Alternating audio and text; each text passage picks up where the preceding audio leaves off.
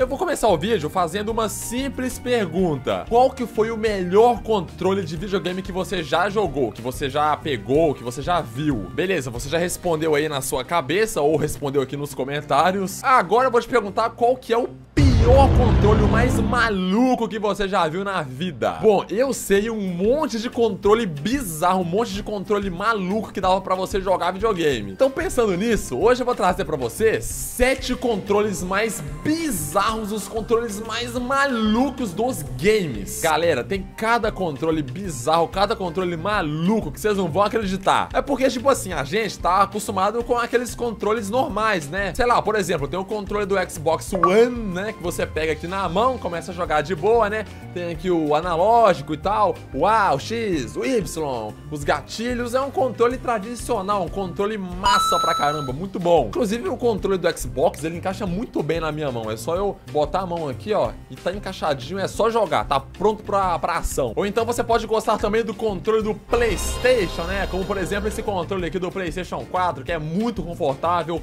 os botões são muito macios. Aí tem o touchscreen aqui que você passa o dedo e tal, que é muito legal também. Aí tem as luzinhas que o controle emite, que na verdade só gasta bateria, né? Mas tá bom, é bonito. Enfim, mano, cada um tem um controle predileto aí, aquele controle top. Só não é mais top que esse controle de Play 1 aqui que eu comprei, que é um controle muito vagabundo, velho. O controle... Olha isso aqui. Você vai jogar aqui no controle e você toma um choque logo, porque o fio tá tudo desencapado. Esse controle aqui é tão pirata que, sério, ele, é, ele tá pesando tipo 5 gramas. Tá muito leve isso daqui. Não, e dá uma ligada na limpeza do controle. O negócio tá tão sujo que eu vou tacar no chuveiro pra dar um banho aqui nesse controle. Nossa senhora. Comprado diretamente no Rogério do Game. Não sei quem é Rogério, mas um abração aí, Rogério do Game. Enfim, rapaziada, o negócio é que hoje, ao contrário desses controles da hora aí que eu mostrei, né? O controle do Xbox, do PS4. Hoje, eu separei pra vocês os sete controles mais malucos dos videogames. Nossa, galera, eu vou mostrar uns controles aqui que, sério, eu nunca tinha visto na vida uns controles bizarrões, cheios de botão,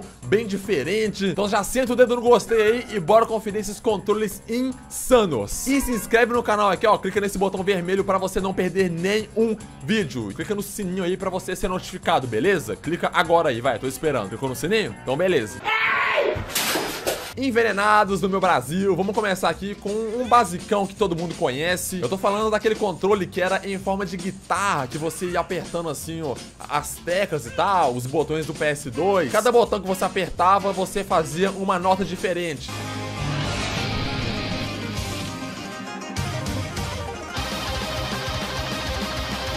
Nossa, esse controle era sensacional. E também é um controle muito difícil de jogar, porque a última vez que eu fui jogar, nossa, eu tava errando todas as notas. É muito difícil. Eu prefiro jogar no controle mesmo. Só que a ideia desse controle, galera, ela é muito da hora, porque traz uma imersão muito legal. Parece que você tá de fato tocando guitarra, fazendo as notas lá, mandando solos insanos.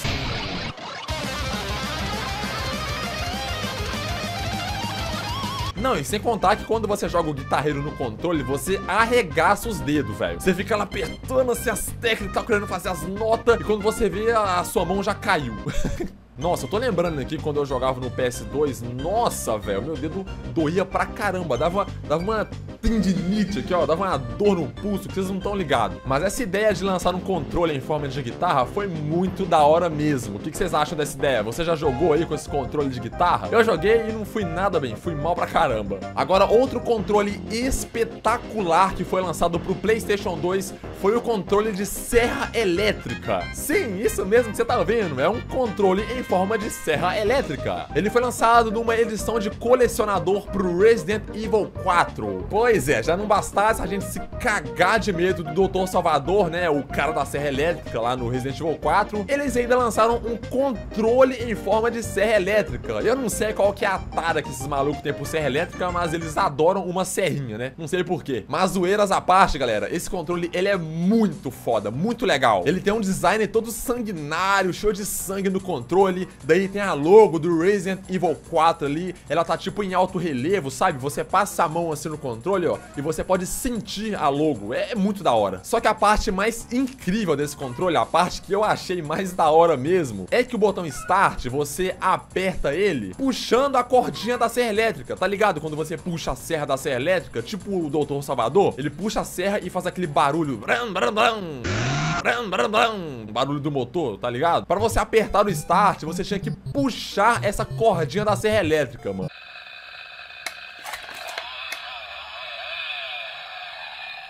Oh, essa ideia foi genial, cara, muito legal. Para você ligar o controle era só você plugar na entrada que tinha debaixo da serra elétrica. Aí você plugava lá e ligava no PS2 e de boa, tava jogando. E uma parte engraçada é que você pode usar esse controle de serra elétrica para jogar outros jogos. Ou seja, você podia jogar qualquer jogo com uma serra elétrica absurda.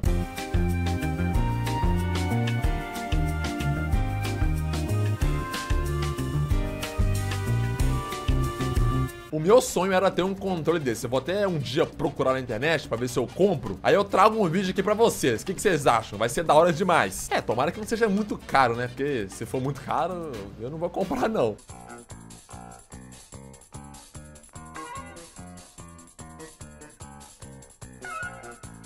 O Dreamcast foi o último console lançado pela SEGA. SEGA!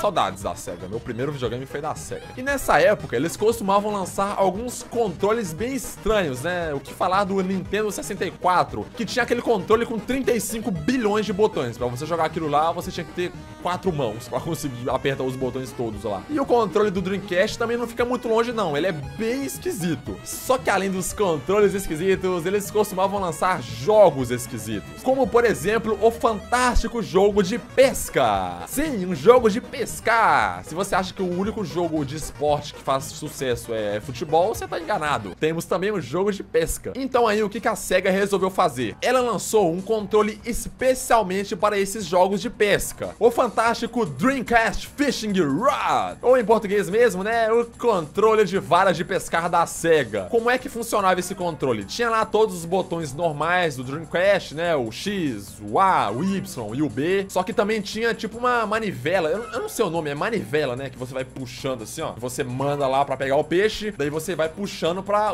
pra pegar o peixe, né? Não tem muito o que falar. Só que o pulo do gato desse controle era que ele era tipo um sensor de movimento. Então você podia direcionar esse controle pra qualquer lugar do jogo. Você virava lá e o jogo também virava. Você virava pra direita, o controle virava pra direita. Você virava pra esquerda, ele virava pra esquerda. Era, era muito simples. Quer dizer, simples em teoria, né? Porque o controle eu acho que não funcionava muito bem, não. Pra falar a verdade, eu não entendi absolutamente nada desse jogo aí. Nada mesmo. É muito esquisito, muito bizarro. Eu só entendi que pra você jogar, você tem que ficar assim, ó. Tem que ficar... Ah, pra, pra conseguir jogar o jogo. Vai! A parte mais engraçada era que esse controle da vara de pescar, ele funcionava também em jogos que não eram de pescar. Um exemplo é o jogo Soul Calibur, que era um jogo de luta.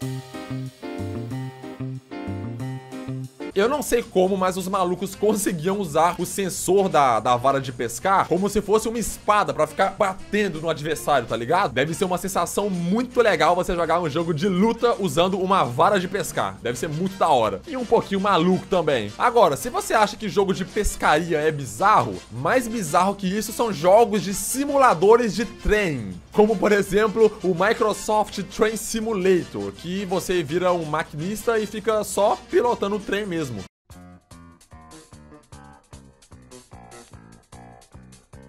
É tipo aquele trem do GTA San Andreas, só que a diferença é que não tem diferença, na verdade. Era tipo quando você tava jogando GTA San Andreas, aí você ia lá e roubava o trem. Então, é basicamente isso, porém é um jogo só pra isso. E um pouco melhor também, né? Então, a Microsoft lançou um controle especial só pra você jogar o Microsoft Train Simulator. Esse controle se chama Rail Driver Controller. O Rail Driver Controller é um controle que imita uma cabine de piloto de trem. Eu não sei se é piloto ou se é motorista enfim, vocês entenderam. Então esse controle tem as alavancas lá pra você acelerar e frear, tem um milhão de botões pra você ficar apertando, que eu não faço a mínima ideia do que serve isso daí. Quando eu vi esse controle pela primeira vez, eu tava achando que era uma caixa registradora, sabe? Aquelas máquinas que ficam no mercado pra fazer as contas lá, eu, eu tava achando que era isso. Só pra vocês terem ideia, esse controle tem mais de 30 botões e cada botão tem uma função diferente. E por incrível que pareça, esse controle funciona bem, ele não é ruim, ele é bem bom mesmo. Outro controle malucão que lançaram pro PlayStation 2 foi a Katana Soul Controller, que é um controle no formato de uma espada de samurai. Olha só que coisa doida. Ele foi lançado pro jogo Onimusha 3. Essa katana fazia parte de uma edição de colecionador que vinha vinha junto com um controle normal mesmo, um controle de normal. A parte da hora é que o controle era muito, mas muito doido. Ele era todo no estilo samurai, com uma caveirona sinistra bem no meio. Nossa, esse controle era da hora demais. E cara, eu não sei como, mas eles conseguiram fazer um controle em uma espada. Colocaram lá todos os botões do PlayStation 2 numa espada. E olha só que interessante, essa espada também tinha um sensor de movimento. Só que não funcionava muito bem, não. Esse controle realmente não funcionava.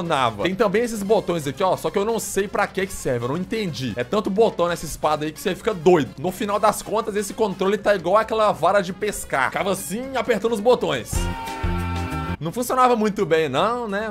Não era muito bom esse controle, mas que ele era da hora, que ele era top demais. Isso é verdade, ele era muito estiloso. Agora, galera, eu vou mostrar um controle que eu achei sensacional, velho. A iniciativa desse controle foi muito boa mesmo, foi uma coisa épica. A Nintendo lançou um controle chamado Nintendo Hands Free, que era um controle que você podia jogar sem as suas mãos. Pois é, um controle que você não vai apertar nenhum botão com as suas mãos. Esse controle foi lançado pro Nintendinho, aquele caixote gigantesco lá da Nintendo. E assim, pra quem não tá ligado, o Nintendo, ele tinha poucos botões, ele tinha só dois, que é o botão A e o botão B. O resto são só essas setinhas aqui, o Select e o Start. Inclusive, eu gosto pra caramba desse controle, ele é muito bonitinho. Então, pensando nas pessoas com deficiência, pessoas que não conseguiam jogar videogame, a Nintendo fez um controle que você jogava de uma maneira muito diferente. Esse controle era bem grande, aí o que você tinha que fazer? Você tinha que botar ele aqui no seu peito e encaixar como se fosse uma mochila. Ele tinha uma alça que você botava aqui no seu pescoço e ele ficava pendurado. Então, junto com o acessório, o controle, tinha uma espécie de mangueira que você colocava na sua boca. Então, olha só que coisa genial que eles fizeram. Se você assoprasse a mangueira, o controle entendia que você estava apertando o botão A. E se você chupasse a mangueira, o controle entendia que você estava apertando o botão B. Sabe quando você tá tomando Coca-Cola com canudinho e você fica soprando lá só pra borbulhar? Então, é tipo isso daí, só que no caso você tá jogando videogame. E pra você controlar controlar o personagem apertando a, a, setinha do controle, tinha meio que uma alavanca que ficava aqui assim no seu queixo, ó, e você ia usando o queixo para usar ela, para apertar o botão. Cara, parabéns pra Nintendo que fez um controle muito genial. Eu achei sensacional essa ideia. Se funcionava direito, eu não sei, mas a ideia é muito boa. Eu tive que botar nessa lista aqui porque além de ser bem diferente, bem inusitado, foi, foi muito legal a Nintendo ter feito isso daí. E a Nintendo lançou outro controle muito maluco pro Nintendinho. Dessa vez eu vou falar do U-Force, que é esse trambolho gigantesco aí que eu tenho certeza que você não faz a mínima ideia do que, que ele serve, o que, que ele faz. Então, esse controle, ele era tipo um sensor de movimento. Nessas entradinhas aí, nesses buraquinhos, saía uma luz infravermelha que quando você passava a mão na frente dela, ela entendia que você tava apertando um botão. Tinha o sensor pro A, pro B, pro Start e tudo mais. Aí como é que você jogava? Você plugava esse controle no seu Nintendinho, ele não usava pilha nem nada do tipo, ele era completamente alimentado pelo videogame e você ia passando a mão lá e jogando, mano. Olha que coisa insana.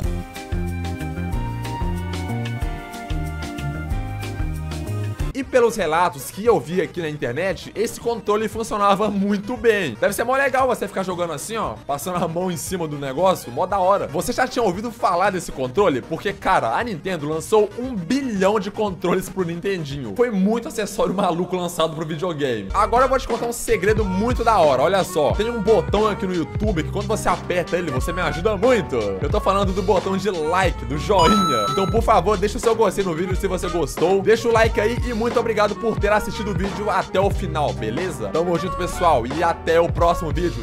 Tchau!